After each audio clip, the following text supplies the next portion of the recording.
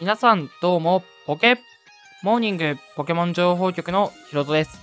ということで、えー、本日から10月7日月曜日9時までの間、最強の豪華ザルがやってきているということで、今回はこの最強の豪華ザルレードの攻略法だったり、えー、使ってくる技とか、おすすめの対策ポケモンなんかを紹介していきたいと思います。今回の最強の豪華ザルは10月7日月曜日9時までの間の出現で岩テラスタルで出現します。今回ももちろん1回目のクリアでは最強の豪華ザルを仲間にすることができますので今回もクリアを目指して頑張っていきましょう。また秘伝スパイスも手に入りますので今回こちらの最強の豪華ザルを周回して秘伝スパイスを集めるのもいいかなと思います。ということで続いてはこの最強の豪華ザルを簡単に攻略できるポケモンを紹介します。今回最強の豪華ザルレードにはこちらのジャラランガを連れていくといいです。ジャラランガはテラスタイプを格闘にしてあげて持ち物に貝殻の鈴そして技構成はボディープレス、鉄壁、ドレインパンチという風にします。ボディープレスの PP はマックスまで増やすようにしておいてください。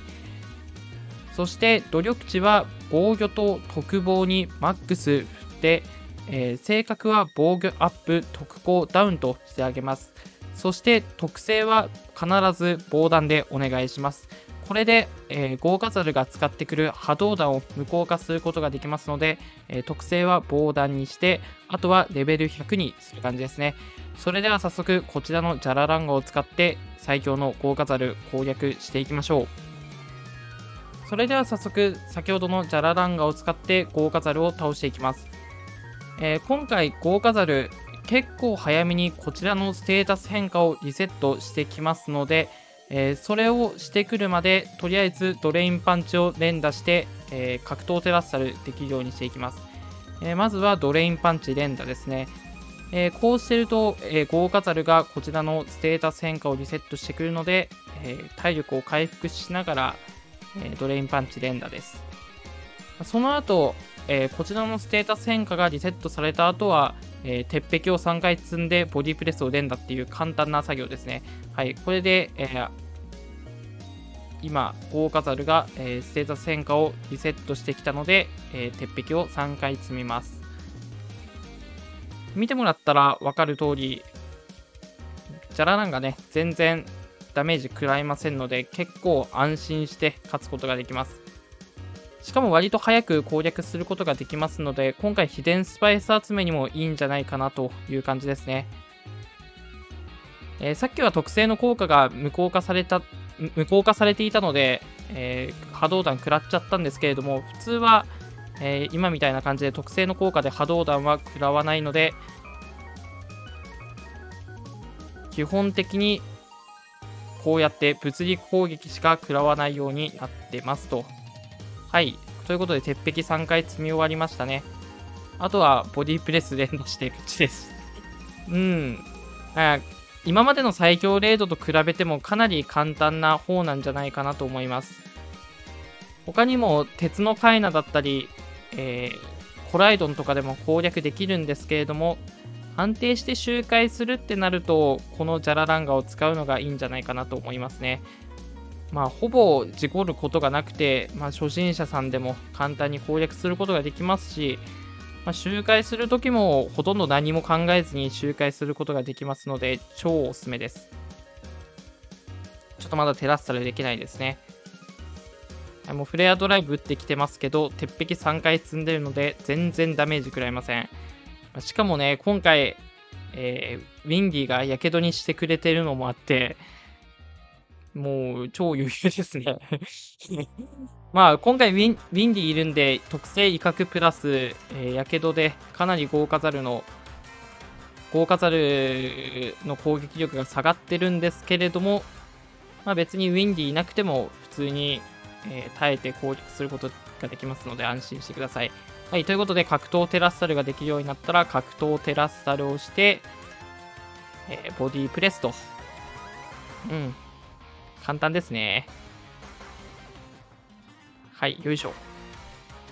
まあ、イケイケどんどんする方が早かったりするんですけれども、まあ、ね、ぶっちゃけ考えるのめんどくさいんで、ボディープレスでのでいいと思います。はい、もうフレアドライブも6しか食らわないですね。全然、えー、豪華ザルの攻撃食らわないので、えー、こちらのジャラランがおすすめです。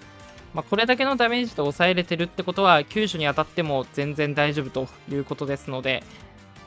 えー、安心してこのジャラランガ使ってもらえたらなと思います。まあ、今回のね、豪華ザル、剣の舞と悪巧みを積んでくるっていう両刀型の豪華ザルなんですけれども、えー、特殊技がね、草ぶすみと、えー、波動弾がメインになっているので、えー、特性防弾にしてあげて、波動弾を無効化してあげると特殊攻撃がほとんど飛んでこなくなりますので、特製防弾のジャラランガを連れて行ってあげると簡単に攻略できるという感じですね。まあ、ちょっとね、この気合ダメが次確定で、あ、確定で急所じゃないですね。急所に当たりやすくなるので、ちょっと厄介なんですけれども、まあ全然、まあ時間にも余裕ありますしね。一回やられちゃっても大丈夫なぐらいの時間が残ってるので、はい、これで余裕ですね。はい、クリアと。超簡単です。ぜひね、皆さんこちらのジャラランガ使って最強の豪華ザルゲットしちゃってください。まあ、今までの最強レードと比べると、どうですかね。まあ、かなり簡単な方になるんじゃないかなと思います。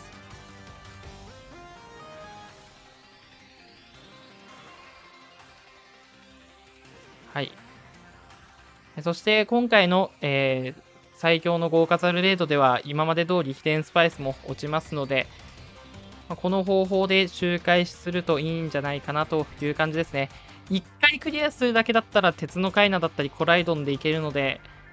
えー、まあぜひね、あの、ジャラランが育成するのめんどくさいよっていう人は似たような感じで、えー、鉄のカイナ、鉄のカイナやジャラランガを使って、えー、攻略するといいんじゃないかなという感じです。まあ、ただ、安定感とか、えー、勝率で見たら絶対ジャラランガがいいので、えー、周回する人だったり、安定して勝ちたい、絶対勝ちたいっていう人は、こちらのジャラランガ使ってみてください。ということで、本日も最後まで動画をご視聴いただきありがとうございました。今回紹介したジャラランガ、えー、めちゃくちゃ簡単に豪華ザル倒すことができますので、えー、ぜひ皆さんも使ってみてください。ということで本日も最後まで動画を見てくださった方に、えー、こちらの色違いのミロカロスをプレゼントしたいと思います。応募方法はチャンネル登録とこの動画にいいねと何でもいいのでコメントをしてください。コメントした写真を Twitter の DM に送っていただけますと応募完了になります。Twitter のアカウントは概要欄やコメント欄に貼ってありますので、ぜひそちらから飛んでください。皆さんのたくさんのご応募お待ちしております。ということで、以上、ポケモン情報局のひろとでした。また別の動画でお会いしましょう。バイバイ